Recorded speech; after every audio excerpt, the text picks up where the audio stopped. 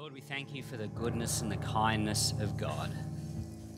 You've done so much. Lord, we pause this moment in the presence of God. We thank you that it's all because of you. You have done it all.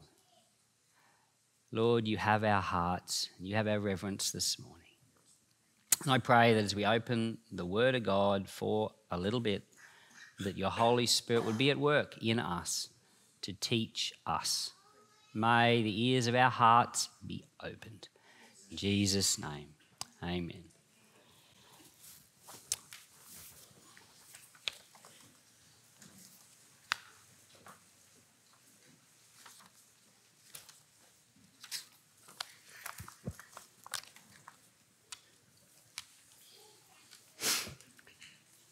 We joined the church in 1988.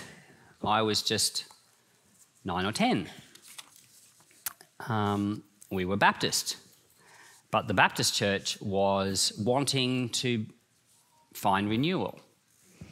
And they called um, John and Hazel. I'm trying to get into the habit of calling them John and Hazel. Um, they called John and Hazel to come and lead them into renewal. You know, that was really quite a profound thing because they were saying, I don't think the church realized it, but the church was saying to the Lord, We want you to take us as a church and do whatever you want, bring us into whatever you want. So the church kind of officially gave God permission to renew the church. I guess the people at Peace back then, some of them are still here. I assume they thought certain things like we'll sing happier songs, we might speak in tongues. I, they, I, they probably thought certain sets of things, but the Lord was thinking, I've got your permission. We are going to go on a way bigger journey than what you're thinking of. and so it's been like that. It's been this giant journey. And um, it's the Lord. It, that whole journey, it's the Lord.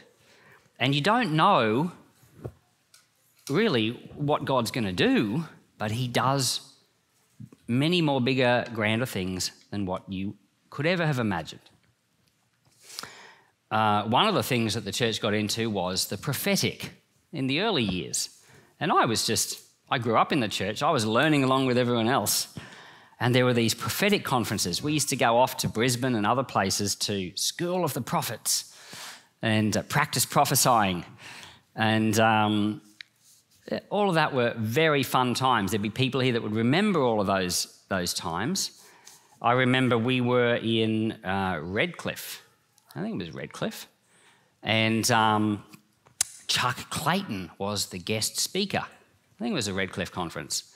And um, the, the gentleman that was in charge of organising the School of the Prophets was looking for some pastors that might take his special guests out to lunch all the different days so that his guests, like Chuck, would have, you know, get shouted lunch for one, but, um, you know, that they would have interesting people to talk to. So he approached John and said, John, would you take Chuck out to lunch? And so they went to Sizzlers. I remember it because I was there. It was Chuck, and Dad, John, and me. And I thought this was great because we were going to Sizzlers.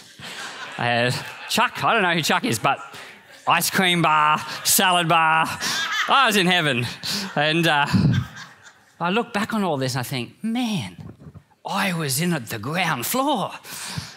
I didn't have a clue. I was just enjoying Sizzlers. Uh, but um, th- there's been this whole journey of things that have happened. I remember Dad, John, preaching about the Lord's restoring apostles. I remember just being a teenager sitting there thinking about that. Huh. Who, who, who would have thought of that? You know, 12 apostles and we were done. But no, apparently we're not done. I remembered thinking as about a 19 year old, oh, I think I'm an apostle. Definitely, I'm an apostle. And then I had some problems in life and then I realized apostles have more problems in life. And then I decided I wasn't one. this is all part of the journey. And as far as I'm concerned, unless the Lord says in black and white and big bold letters very clearly, I am not one, and that's, I think, the attitude everyone should have. These are all part of the experiences. I was there the week that we had a was supposed to be a week of hot, strong revival prayer that turned into a week of listening prayer. That was the week that I that was the prayer meeting I tried to avoid as much as possible because it was really boring. And um, that's when my Bible college studies became way interesting that week. so I've got to go study. So um, I was there. Holy, it was the Lord. It was the Lord. Um, I remember a conference in Toowoomba uh, we were invited by, John was invited by the Uniting Church in Toowoomba to come and do this intercession conference. I was there. I was a pastor in Mount Morgan at that point. I brought some people from my congregation, and I remember uh, we were sitting through a session on a Saturday afternoon where John talked about the unity of the body of Christ. I remember him saying that it was ridiculous that Christians could live on the very same street as each other. And on a Sunday morning, they would all get dressed in their fancy best dressed clothes and would all go off to church. And one would go this way to the Presbyterian church, and one would go that way to the Pentecostal church, and they would hate each other's guts. But they were worshipping the same Lord and all doing the exact same thing all at the exact same time. And I remember him saying that that was ridiculous. Anyway, I remember the person that I'd brought from Mount Morgan with me sitting in the congregation next to me saying, This is amazing.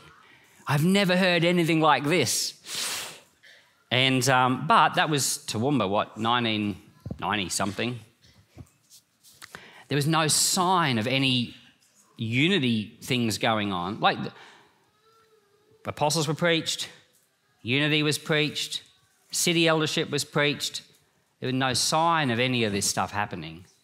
But here we are, a mere 30 years later, the world's changed. It's the Lord. God has done things. You could not have imagined it. I mean, you could imagine it, but you couldn't imagine what he was going to do or how he was going to do. It, it felt impossible, right?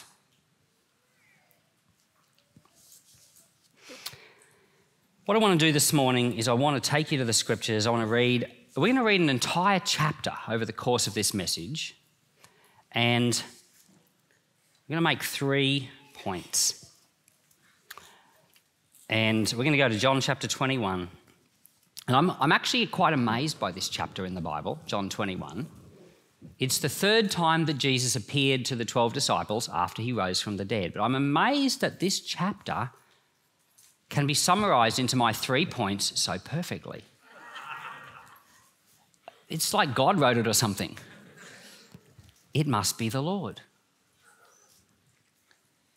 So I'm going to start by reading verses 1 through to 7. Afterward, Jesus appeared again to his disciples by the Sea of Galilee. It happened this way Simon Peter, Thomas, also known as Didymus, Nathanael from Cana in Galilee, the sons of Zebedee, and two other disciples were together. I'm going out to fish, Simon Peter told them, and they said, We'll go with you. So they went out and got into the boat, but that night they caught nothing. Early in the morning, Jesus stood on the shore, but the disciples did not realize that it was Jesus. He called out to them, Friends, haven't you any fish? No, they answered. He said, Throw your net on the right side of the boat and you will find some. When they did, they were unable to haul the net in because of the large number of fish. Then the disciple whom Jesus loved said to Peter, It's the Lord. It is the Lord. As soon as Simon Peter heard him say that, it is the Lord, he wrapped his outer garment around him and jumped into the water. It's the Lord. He leaped in. He had to get to him. It's the Lord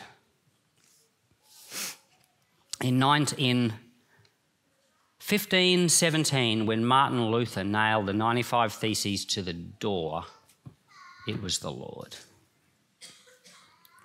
In 1522, when Christoph Froschauer ate sausages on a Friday in Lent, which was illegal in Switzerland, and was put in jail and started the Reformation in Switzerland, it was the Lord.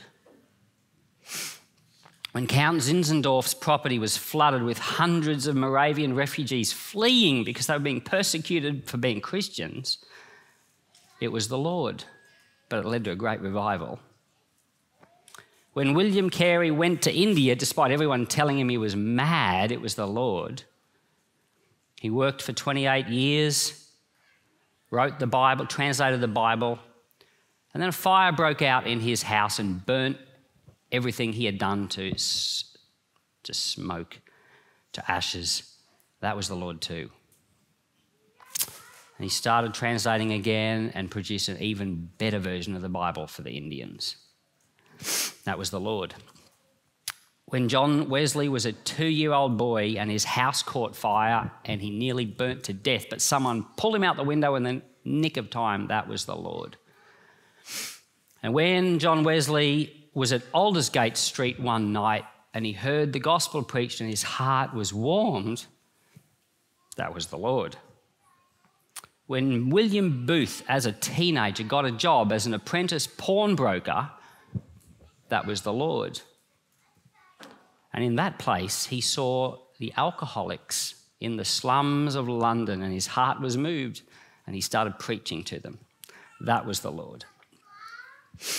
On April the 3rd in 1960, when Dennis Bennett stood up in his church, an Episcopalian Anglican church, and told them he was filled with the Holy Spirit, he got kicked out of the denomination. And that was the Lord. And that was the start of the charismatic movement. It was a big part of the start of the charismatic movement. Before that, in 1901, when a one eyed man called Willie Seymour, no joke, preached in Los Angeles William Seymour. But I shortened it to Willie Seymour for the joke. When a one eyed man preached in Los Angeles and the Holy Spirit poured out, that was the start of the Pentecostal movement, the Azusa Street Revival. That was the Lord. Thank God for that. You know, that African American, that was a Pentecostal, pick LA. Who would have picked LA for a move of the Holy Spirit? Think of the world we're living in now. Would the Lord do anything in LA? Hard to imagine, right? No. No, that's where the Pentecostal movement began. An African American worship spread all around the world and changed worship everywhere. Thank God for gospel music. That was the Lord. In the early 1990s, when John Alley sat down at Sizzlers with Chuck Clayton for lunch and David Alley enjoyed the salad bar, that was the Lord. Seriously. In 1997, when the Lord appeared to John gave him an apostolic commission, that was really the Lord. Oh, there's a lot of examples I could pick. The Lord's been doing a lot of things. Um, the things that have been shared this weekend about walking in relationships, about the restoration of apostles, some of the things you've heard many times, but they've all been shared this weekend about becoming a people who love one another, about working together with other churches, about giving up your rights. I don't think that was specifically talked about, but that's definitely a part of it. All of these things are the Lord. I think there's four things you can say about that. You know, the disciples are on the beach, uh, they're in the boat, Jesus is on the beach. He doesn't look like Jesus, they don't recognize him. But John realizes it's the Lord. Why didn't he look like Jesus? I don't know why he didn't look like Jesus. Probably his resurrection body was just a bit different. And one day you and I will have resurrection bodies and we'll be an even better version of ourselves. We probably won't look exactly like what we look like right now. That's a physical reason why, maybe. I don't know why, but maybe the Lord didn't let them recognize him. Because it makes a great point. God does things in our lives and we don't always know it's Him. But it is Him. Sometimes things happen that don't look like the Lord, but they are. Like when your print shop burns to the ground and 28 years of Bible translation go up in smoke. It doesn't look, doesn't look like the Lord, but it is. So, the first of these four quick points for that. Now, remember, I said I was going to make three points, but these are four sub points of the first point, just so that you're clear. The first point is that it's the Lord. But there are four sub points. One, sometimes we don't recognize him, but it is him. Number two, that he is at work doing things among us, even if you don't see it. Number three, if he was not there, nothing would happen. If Jesus was not there on the beach that morning, they would not have caught any fish. And number four, they actually worked. Jesus worked, but they worked. They did it together. So, this calling that we have that's apostolic, it's something that Jesus is in. You don't always recognize him. If he's not there, nothing happens. But we have to work, and he will work with us. Just like that first seven chapters of John chapter 21. But if you think about the phrase, it is the Lord, there are other ways of understanding it. There are two other ways I thought of. It could be a lot. But there are at least three ways of thinking of this phrase, it is the Lord. And they're my three points. So the first point, it is the Lord, the one that I've already made, is He is the cause. Everything that happens is because of Him, it's because of the Lord. But the second point is about Him. He's a person, it's the Lord. Verses 8 to 14. The other disciples followed in the boat, because, you know, Peter had already leaped into the ocean, towing the net full of fish, for they were not far from shore, about a hundred yards. When they landed, they saw a fire of burning coals there with fish on it and some bread. Jesus said to them, Bring some of the fish you have just caught. So Simon climbed back into the boat and dragged the net ashore. It was full of large fish, 153. But even with so many, the net was not torn. Jesus said to them, Come and have breakfast.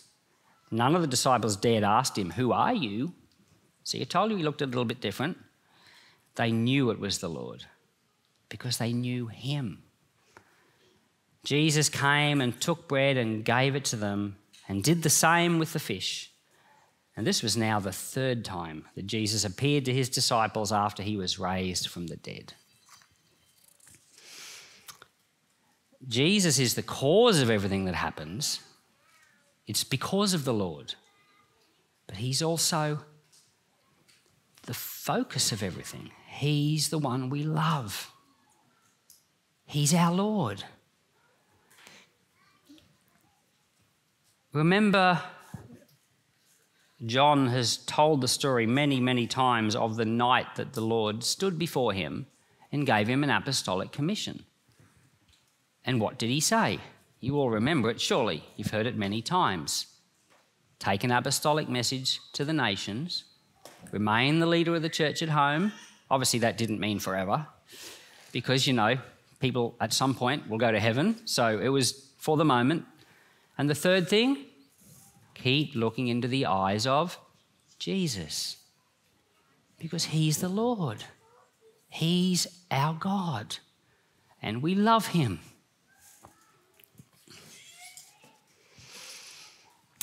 So the first point is that everything's because of Him.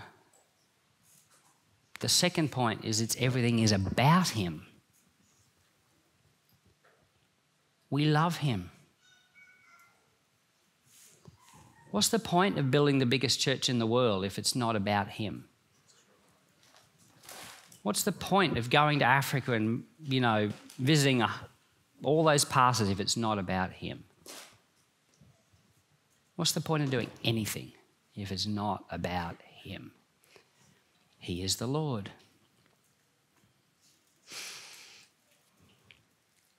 The third point is also the same. He is the Lord. Let's read verses 15 to 24. When they had finished eating, Jesus said to Simon Peter, Simon, son of John, do you love me more than these? Yes, Lord. You know that I love you. Jesus said, Feed my lambs. Again, Jesus said, Simon, son of John, do you love me? Yes, Lord, you know I love you. Jesus said, Take care of my sheep. The third time he said to him, Simon, son of John, do you love me? Peter was hurt because Jesus asked him the third time, Do you love me? He said, Lord, you know you know I love you. Jesus said, Feed my sheep. He said, Very truly, I tell you, when you were younger, you dressed yourself and went where you wanted. But when you are old, you will stretch out your hands. By the way, do you know what that means? Stretch out your hands. Crucifixion. When you're old, you'll be crucified. You'll stretch out your hands. Someone will dress you and lead you where you do not want to go. Jesus said this to indicate the kind of death by which Peter would glorify God. And then he said to him, Follow me. Peter turned and saw that the disciple whom Jesus loved, as John, was following them. This was the one who had leaned back against Jesus at the supper and said, Lord, who is going to betray you? When Peter saw him, he said, Lord, what about him? Jesus answered, If I want him to remain alive until I return, what is that to you? You must follow me. Because of this, the rumour spread among the believers that this disciple would not die. But Jesus did not say that he would not die. He only said, If I want him to remain alive until I return, what is that to you? This is the disciple who testifies to these things and who wrote them down. And we know that his testimony is true. Jesus says to Peter, Do you love me? Yes, he does, three times.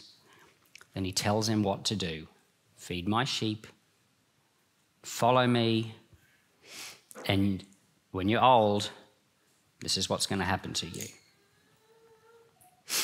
Peter's immediate thoughts are what about these other disciples? If I'm going to get crucified, what about him? And Jesus says, This is just a between you and me thing. What I do with them is something else. He's the Lord. So, yes, He's the Lord, point one, because it, He's the cause of everything that happens. He's the Lord, point two, because it's all about Him. But He's the Lord, point three, because He's the Lord. He will tell you what you're going to do.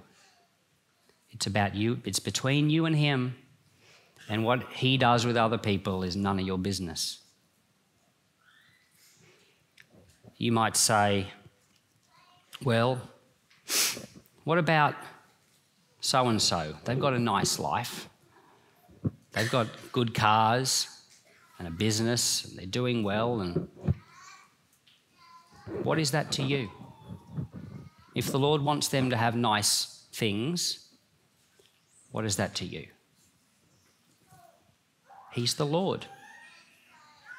If the Lord says He wants you to stretch out your hands, and if He leads you to a place where you do not want to go, which is what He said to Peter, he is the Lord.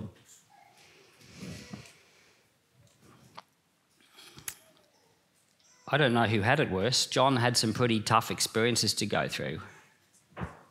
Why do we always worry about what other people?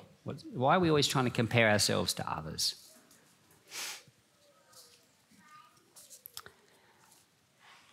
This apostolic thing is all about him. It's what he's doing.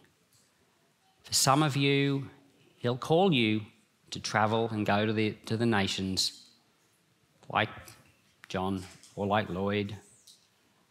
For others, He'll call you to do something else. Whatever He tells you to do, do it. Don't be grumpy or bitter because you're not getting what you want.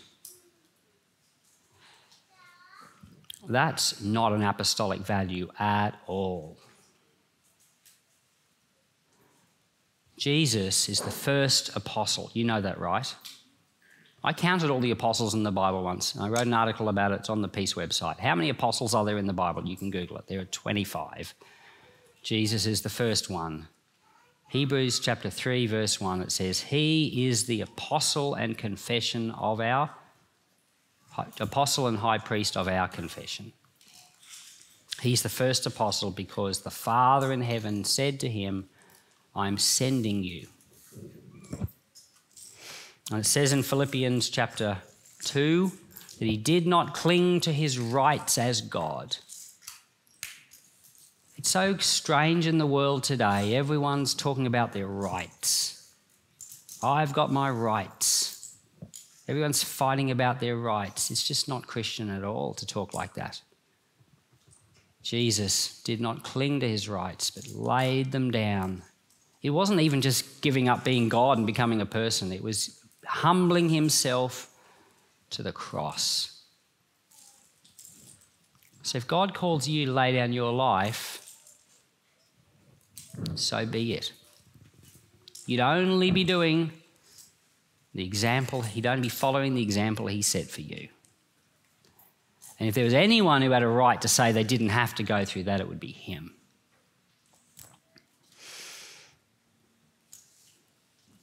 So Peter really had no choice.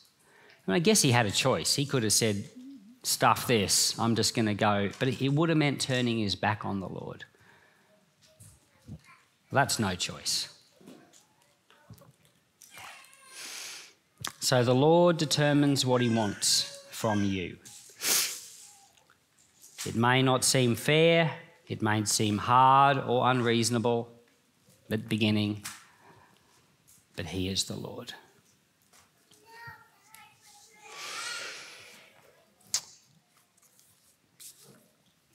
I think I'm going to invite the band to come. And um, there are these three ways of thinking about this passage everything that the Lord has done. In your life, think about your own life, the journey that you've been on. The Lord has been in it. He's brought you to this place today.